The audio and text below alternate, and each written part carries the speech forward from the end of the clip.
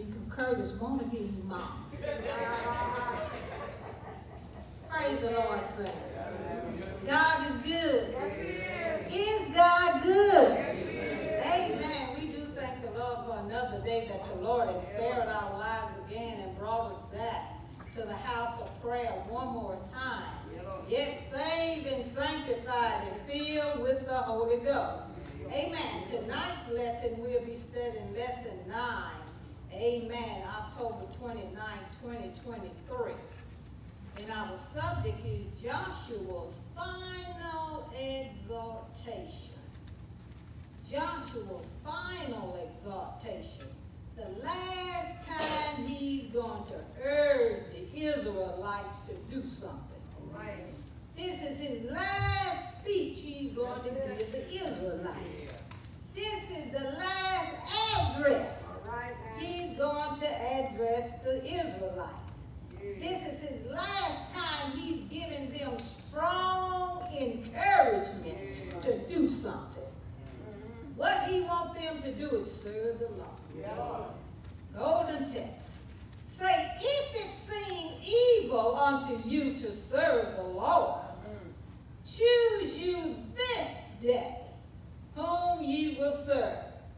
But as for me and my house, we will serve the Lord. Joshua 24 and 15. This is the last exaltation he's given them. Amen. And it's good to take self-examination. Yeah, Lord. You make a choice for your own self. You speak up for yourself. That's it. Amen. For me and my house. My God. He's letting them know you got to make a choice for yourself. Oh, yeah. I can't make that choice for you. Amen. You got to make this choice if it seems evil. Do it seem wrong for you to serve the Lord? He brought you out of Egypt. He brought you out of bondage. He bought you from serving our God. Is it evil unto you to serve the Lord? No. Amen. God brought him, them through the Red Sea. Amen. All of that enemies. And I because he did a work in the midst of their enemies, in the presence of uh, Israel. They could see what the Lord can do. One song says, see what the Lord has done. We can count our many blessings because we can see what the Lord has done in our life. Amen. Going into our lesson, amen. Joshua 24 and 1. And Joshua gathered all the tribes to Shechem and called for the elders of Israel and for their heads and for their judges and for their officers. And they presented themselves before God. Amen. The Lord called Joshua to be the new prophet after the prophet Moses had passed off the sea. And when uh, Joshua is talking to Israel, I thought about Paul talking to Timothy. Right now. The time of my departure is at hand. It's time for me to go. Yeah, But before I go, I want to make sure y'all got it together. That's it. I want you to check yourself. Yeah, You know, it's easy to check somebody else, Yeah. but check yourself. Amen. What are you going to do for the Lord? Amen. He said he had fought a good fight. Paul told Timothy, I fought a good fight. I lived a good life. I've done what the Lord told me to do. Hallelujah. He wanted Timothy to get ready because he, it was going to be in his hand. And this is what Joshua is trying to gather. Amen. All the tribes of Israel to Shechem. Amen. He called all the heads. That's it. Y'all, we can't get together unless the head That's it. That's it. If the head off, all the other body parts gonna be off. So this is why it was imperative for Joshua to gather all the tribes of Israel into Shechem. He called all the elders. Y'all notice these are leaders. That's it. All their heads, the one that was above the people, before the people. And for their judges, remember we just studied about the judges? And then we were going to go into the kings. Amen. And all the officers, he wanted them to come and present themselves before the Lord. Yeah, Lord. Saints of God, we can't be, come before the Lord any kind of way. Uh-huh. It's a way you got to present yourself to the Lord. Amen. They had, couldn't uh, be out of order in any fashion. Amen. Why? Because they are in the presence of the Lord. Hallelujah. And saints of God, I like to bring it down to us. When we come in here, All right. them gates, Amen. enter into his gates. We ought to come up in here with thanksgiving. We ought to come up in here with praise. Amen. Why? Because the Lord will bless you again to come fellowship with the saints of God. And we can't just give God any old kind of blessing, but we ought to give God our best. Because God deserves the best praise. He deserves all the glory and all the honor. Because just look at your life. Look what the Lord done done for you today. Don't go back a week ago. Look what the Lord has done for you today. We need to give the Lord all the praise, all the glory, and all the honor. Amen. 14. It say, Now therefore fear the Lord and serve him in sincerity Yeah, Lord. in truth and put away the gods which your father served on the other side of the flood in, and in Egypt and serve the Lord. I like this. Check yourself out. Everything their fathers did was their example. That's it. He gave them a choice. You can either fear the Lord, not be not be scared of him, but live in fear of offending God because you serve a, a- another God. God already told them, I'm a jealous God. I'm your God. I'm the true and the living God. And Joshua is telling them, you need to fear the Lord. You need to serve him and him only. You need to be true. You need to be sincere. Don't play with God. He said, you be sincere and in truth. Don't be a faker. Don't be a hypocrite. Don't lie to God because he already know. He say, and not only fear him and serve him in sincerity and in truth, he say, but anyway, I want you to put away the gods which your father served on the other side of the flood. Y'all know it. He said on the other side, they ain't over here. So if you're going to live like your fathers did, you're going to have the same fate you're gonna be passed off Why? Because that's the other God that their father served that was on the other side of the flood. They are not over here, but they passed on on the other side. So make a, a good choice to serve the true and the living God.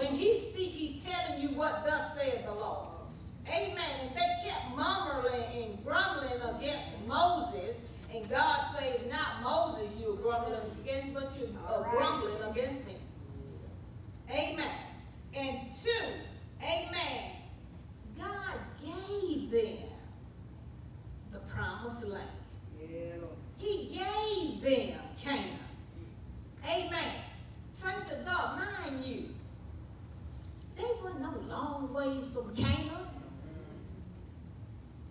It, they wasn't months away from Canaan.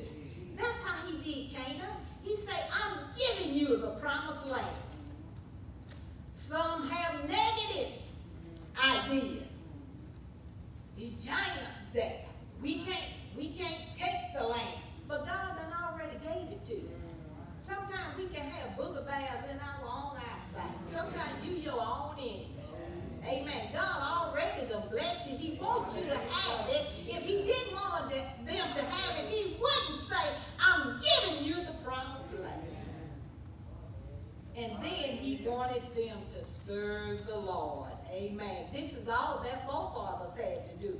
This is why Joshua want to serve them. Notice, you better make the right choice. You better not make the wrong choice because if you serve, uh, choose to serve the idol gods, amen, you're going to be lost. You're going to be destroyed. Amen. And two, this lesson is about not the old Israel because they died in the wilderness. Right. Their grumbling made them stay out there 40 years. Isn't that something to stay in a bad state of mind 40 years? And it say they stayed there 40 years. Look how God will still bless you. They stayed out there wandering 40 years. And it say their shoes didn't wear. Their clothes didn't. Look how God still bless you. He just wants you to come to yourself. Verse 15. And it's saying, if it seem evil unto you to serve the Lord, choose you this day whom you will serve, whether uh, the gods which your father served, which was on the other side of the flood, or the gods of the Amorites, idol gods, in whom you dwell. Amen. The Amorites was in Canaan. Amen. You are there. Amen. Uh, and God didn't want them to serve, serve the other gods of the other nations, the idol gods. Amen. In whom land you did dwell, but as for me and my house, we will serve the Lord. Israel, whatever y'all come up with, it don't include me. It. Don't include me and it doesn't include my house. Amen. Joshua had a made up mind. Saints of God, we got to have a made up mind that I won't let go and I won't turn back. Saints of God, I know you heard of a generational curse, but it can stop with you. My daddy died in sin, but I don't have to die in sin. For me and my house, for me and Joyce, I'm going to serve the Lord. For me and my house, amen. This is how it was at the Curtis house. For me and my house, amen. Our children had to serve the Lord. Thank you, Lord. They, it wasn't negotiable. This was mandatory that if you live here, you going to serve the Lord. Hallelujah. When we get ready for church, we ain't gonna tell nobody to, to get ready for church because you know protocol. That's it. You know to get ready. That's it. Amen. You know when the car roll to be in there with your shoes off. For me and my house, we gonna serve the Lord. Sometimes you got to make it plain, even to the ones in your house. Why? Because some of them don't want to be saved. All right. Because when you say for me and my house, I don't want to be sanctified. I don't want to live like that. I got something else I want to do. I got a long time. Uh, young people, that's a trick of the devil. Fool you like you got a long time. The last few weeks or so, look how many young people is getting hurled into eternity. They thought they had a long time. Sometimes you can connect yourself with the wrong person, and they will be the one that take you out. Amen. And this is what Joshua wanted them to do to make the right choice. But he's letting them know whatever you come up with for me and my house, we gonna serve the Lord. Because my departure is at hand. Saints of God, you can live a good life all your life, saved and sanctified, and get up to the last point. God say if you keep all the law and offend in one point, you're guilty of what? Uh-huh. All of it. All of it. Saints of God, don't get all the way to the end and That's be lost. Amen. Because these were only the young people that went into Canaan. And this is who uh, Joshua is giving the exaltation to the young people. They were the ones that went into Canaan. Why? Because they denounced the God that their father served on the other side of the flood. They didn't want to live like that. Amen. Saints of God. God picked you out of your family.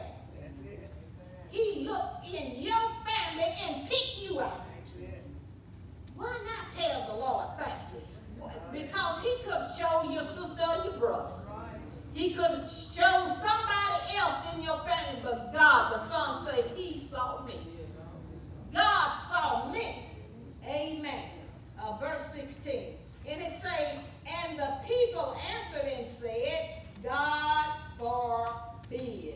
God refused to allow us to serve another God.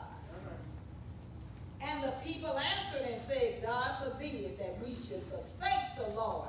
Amen. You abandon God. You don't want God. I, I even thought about, amen.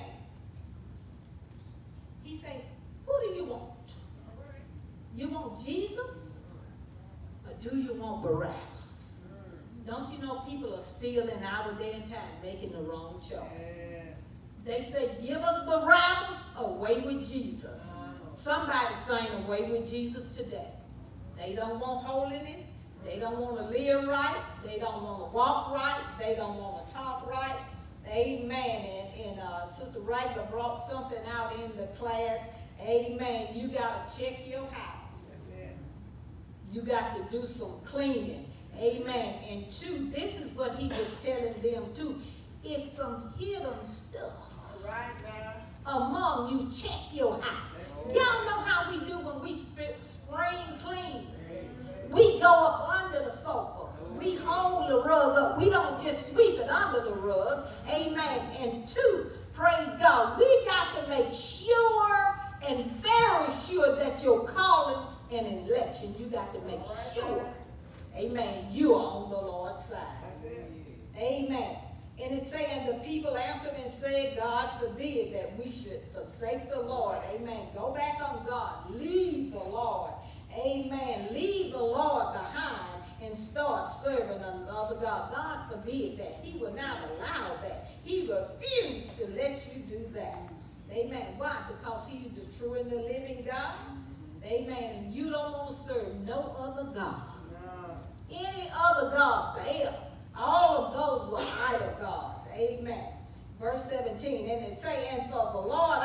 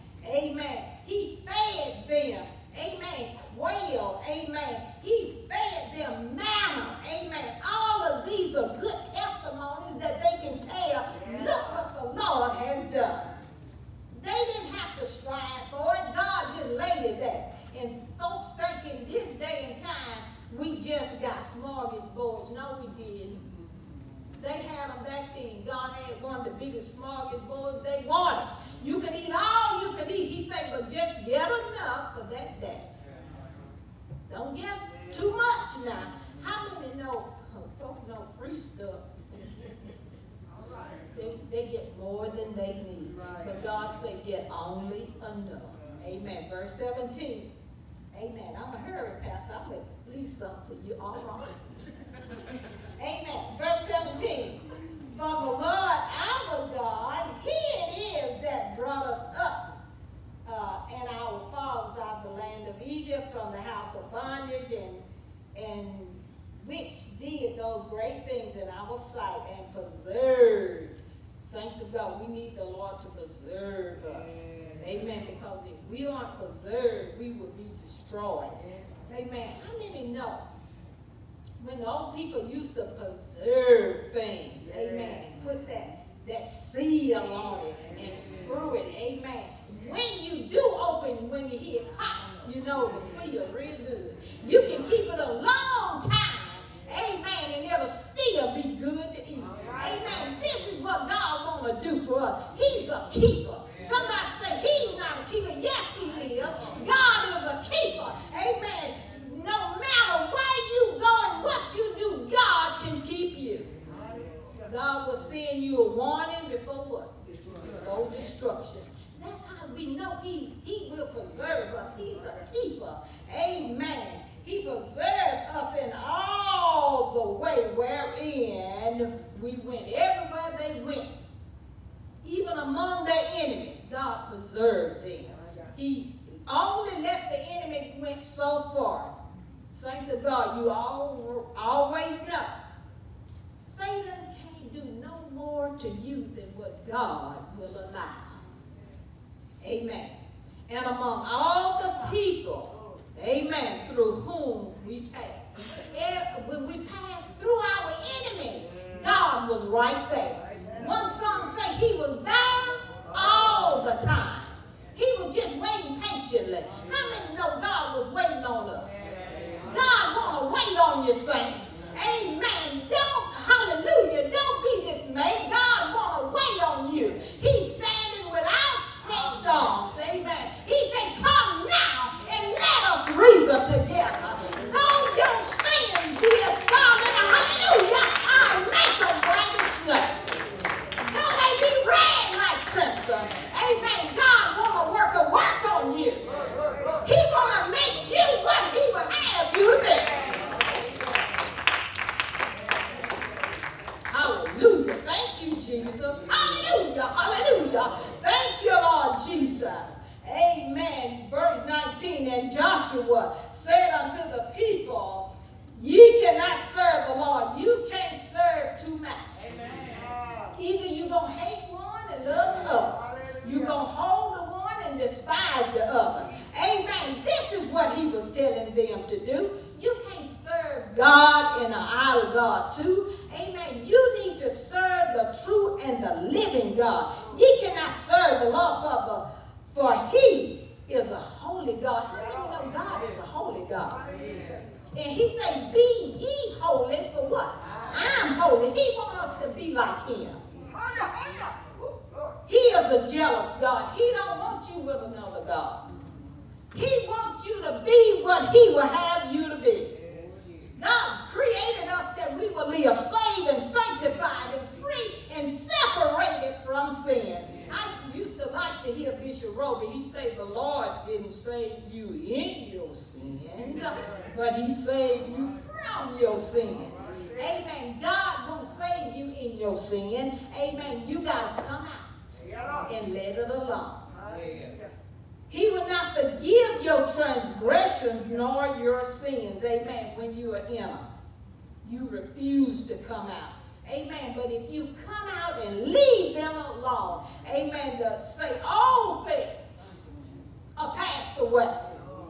When you search up in there and see some of them old George things you used to have, Right. but really I had to get all of my George things. I had to get rid of it even before I got the Holy Ghost. Right. It wasn't coming in. The Holy Ghost ain't coming in in no unclean temple. You got to clean up what you done messed up. Amen. And when you put it away, amen, God say he'll come in. Amen.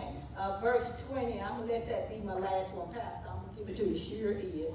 Hey, oh. Verse 20.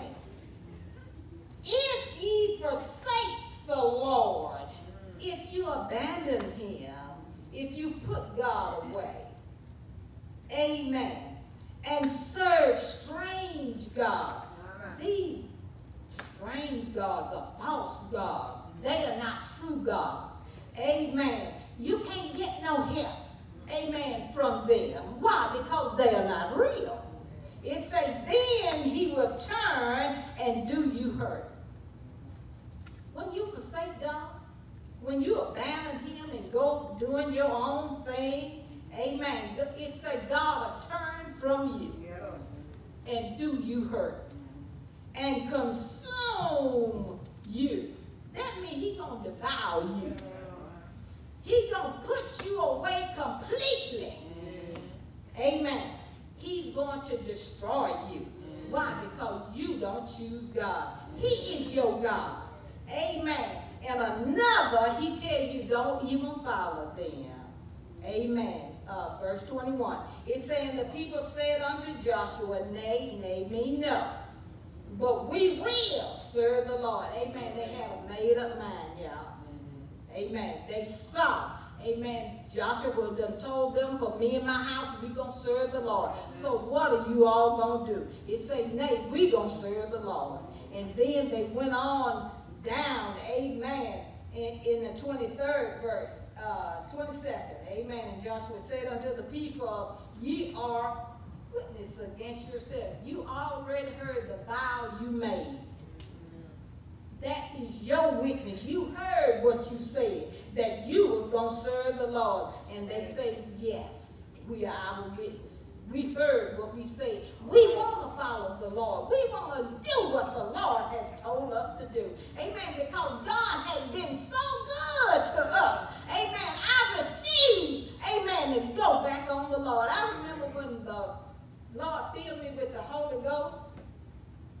I say, Lord, this is so good. Look like when I woke up the next morning, like I heard the birds for the first time. Amen. Like clean. How many know when you will come to tarry service, you come here empty? All right now. You don't come here full of collard greens and pigtails and cornbread and Kool-Aid. No, you come before the Lord empty. Like an empty pitcher before a full fountain. And every time I would come and, and, and uh, I before I come and I will call on the Lord. How many know the more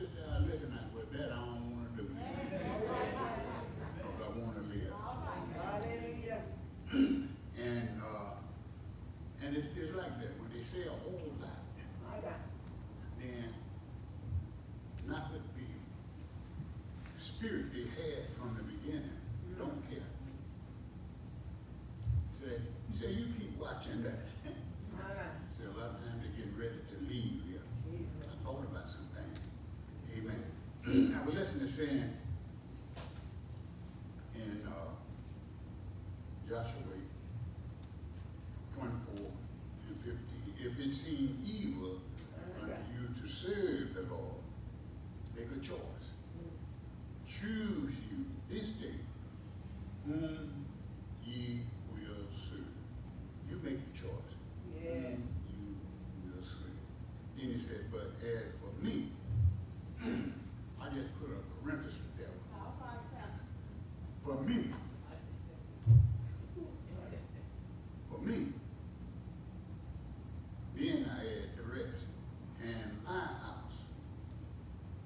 是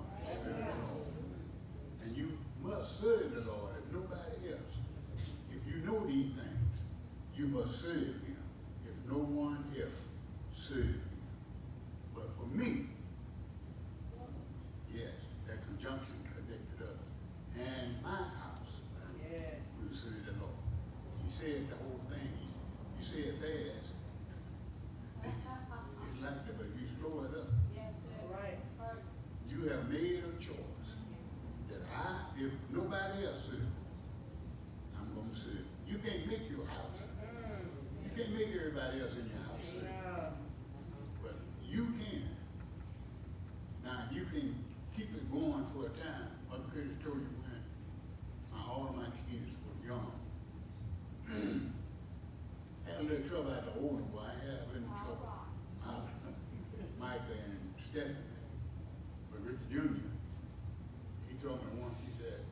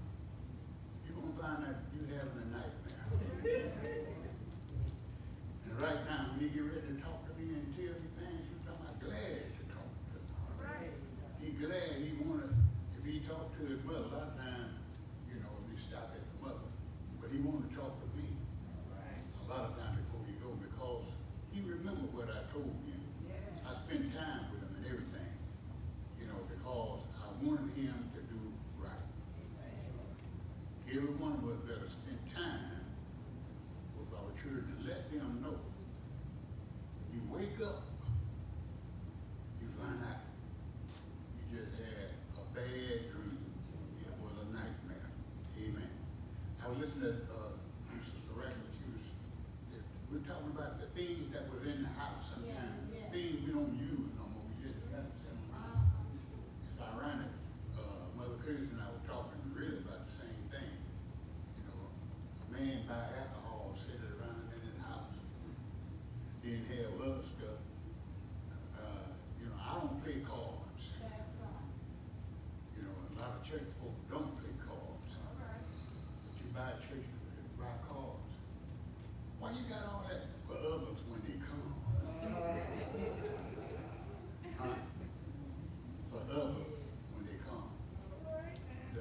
to abstain from all appearance.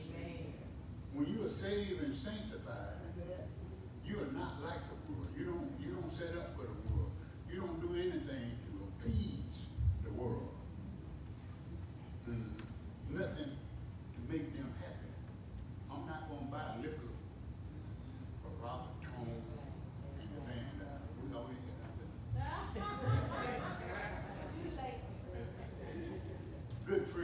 good friends of mine. They know it, and, they, a lot of times they're watching. But anyway, I, I'm not going to do that. Because what? This is not me. You got to abstain from all appearance of evil. Bishop Philip used to say that at times,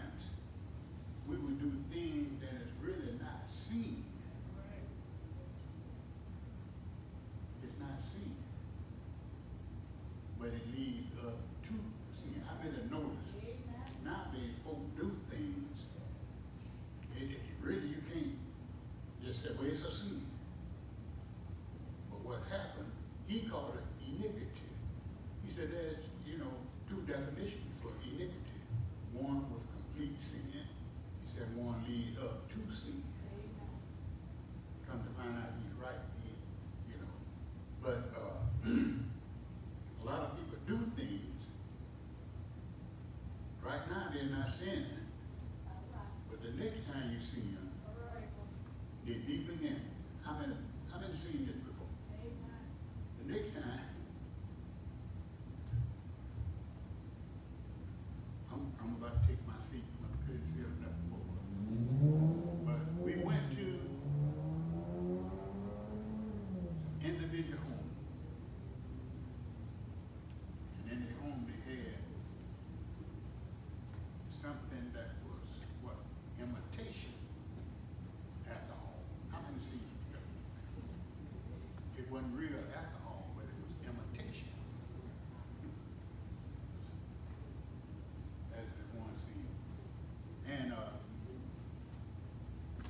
drinking that. It had, evidently, it has the taste of alcohol. You get to drink it. But one thing you don't get is the buzz they usually get from it. That's the next thing they're going to want. Then before long, they're going to what? Keep. Until, so I'm going by the real thing. Something you better leave